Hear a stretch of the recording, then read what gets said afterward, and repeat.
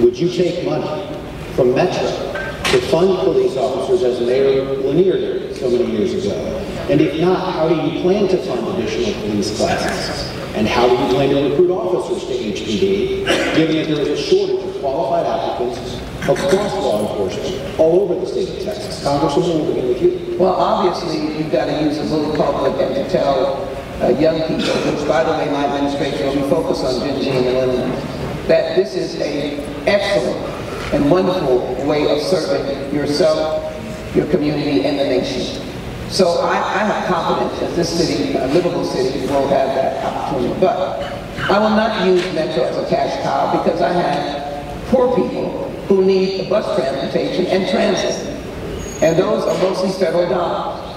What we will do, as I indicated, we're getting dollars from the federal government on law enforcement. We're focusing on providing dollars to communities to increase the number. We just got money for 50 new cadets just three weeks ago from the federal government that I was active in securing. And so we will get the cadets necessary, but we also target different areas. We'll target high crime areas. We'll clean those areas up. We'll make seniors feel safe in walking the streets and not have someone of any age attack them on the street. We'll make sure we have an initiative that says no crime here. And we'll get the community to buy in with all the other law enforcement that have not been utilized, including the federal law enforcement that is already here. That's my plan. I have the ability to work with all of them and get them working toward bringing down crime in the city of Houston. Senator, do you need to repeat the question since there's no... No, I think I uh, had good memory. Thank you. Uh, anyone who can hear my voice, believe me, if we do not get public safety under control across Houston, nothing else that we discuss tonight matters. Seniors come up to me in the Heights at a cafe and say, Senator, you have to do something about crime. We don't leave the house after 5 o'clock in the evening. Families are not taking their children to city parks. It's affecting our economy. We have to address public safety. It's my highest priority, and it can be done. I've lived in Houston when it was a safe city. It will be safe again. We will use resources from TIRZs and management districts. Metro, 280 plus officers ought to be working with HPD. We don't need to take their money, although the money will follow them as they work in concert with HPD. We've got to work with TSU, U of H, the Med Center, Rice. I can spend the evening naming resources that law enforcement have that are not being utilized. We have to have collaboration and let everyone know in the city of Houston we're addressing public safety. Yes, would you like to go back? Yeah, I, am still trying to find out, Senator, what your specific plan is. It seems that you are hesitant uh, to use an obvious benefactor, which has been the federal government, to be able to utilize dollars. And it's very clear that Metro is going to be a cash cow. Is that correct? You're going to raid Metro so that you can say you're doing something about crime and then leave Metro where needy people don't have bus transportation. Is that your plan? Well, obviously, you know everything you just said is not my position.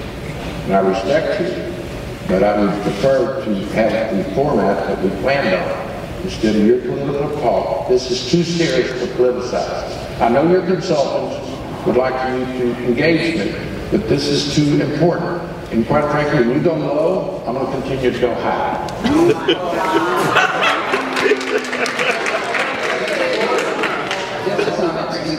just a. Uh, political consultants don't instruct me to ask the truth.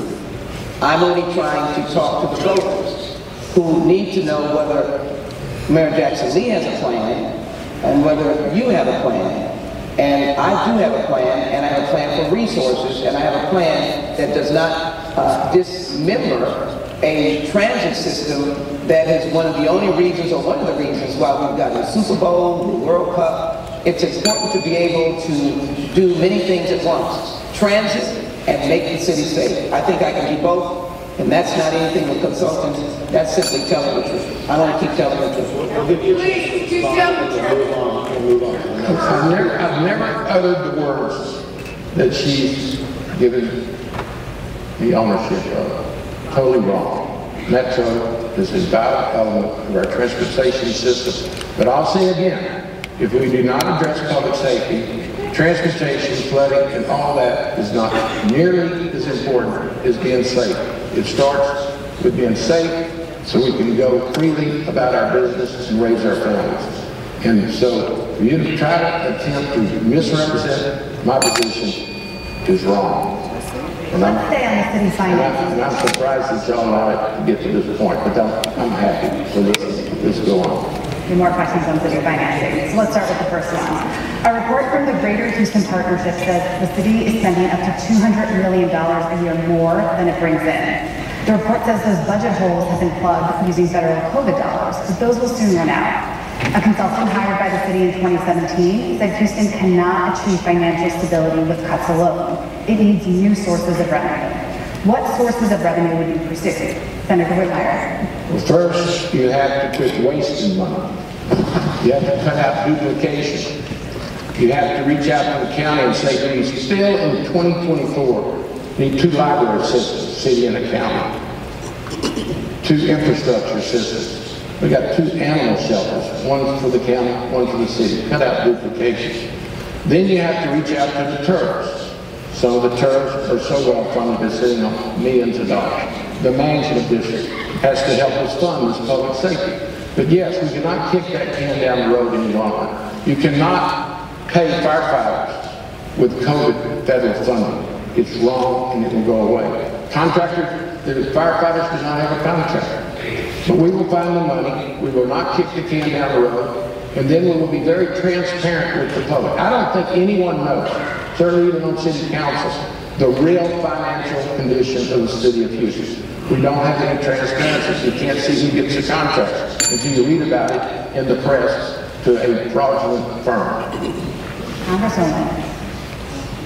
Well, City of Houston, these are dollars that I brought in, 975,000, almost a million for Houston Police Department, 4 million for funding an economic project, uh, 2 million for helping uh, a local city with their sewage, 1 million to school districts.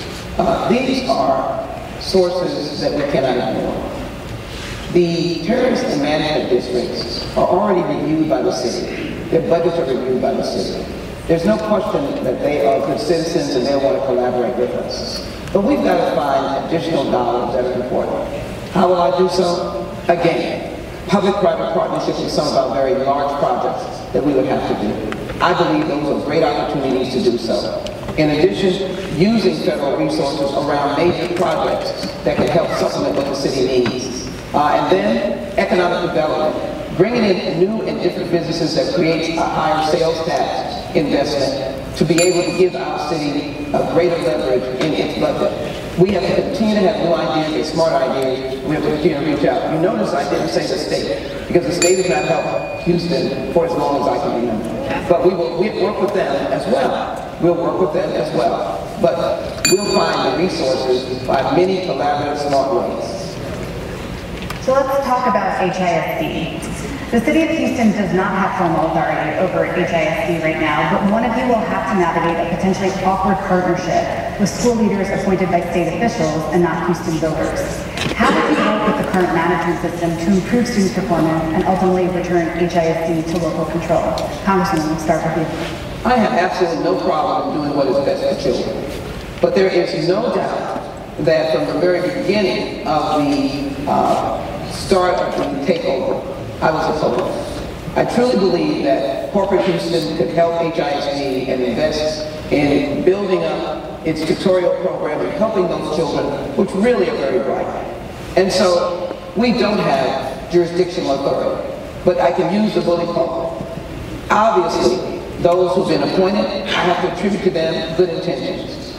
That I would disagree with anything that undermines our children, not being able to have a recreation, undermining our particular teachers, putting children in detention centers that should be libraries. We will not have that. But what we will have is a uh, cooperation. If we focus on education, the mayor will stand there with you, looking for resources, again, maybe from our private sector that can help HISD, and continuing to advocate before the Texas Education Agency that Houston is ready to not be under that control. It is important to have consistency and truth. The parents know it, the teachers who endorse me completely know it, that I'm the only one that stands for education in this city and will stand with HISD in front of everyone to make it better. Senator Whitmire. For years, I've said that how HISD goes is how the city of Houston will go. It's still true today. Unfortunately, HISD was in a crisis eight years ago. Students were failing on their tests, the FBI was going in and out of the administration building. So the Harris County delegation, including our current mayor, Senator Ellis, Representative Thompson, the entire delegation voted for a process to get HISD's attention. Quite frankly, it was working. We have a new superintendent in-house, new school board. TEA felt different. They came in the middle of last spring semester, which I opposed the timing. I've sat down with Mr. Miles over coffee on a Saturday morning and expressed my concerns. It has happened. We need to get behind the children, get TEA out as quickly as possible. I will have advisors in the mayor's office, former HISD employees, and we will work and do everything we can to improve public education in the city of Houston.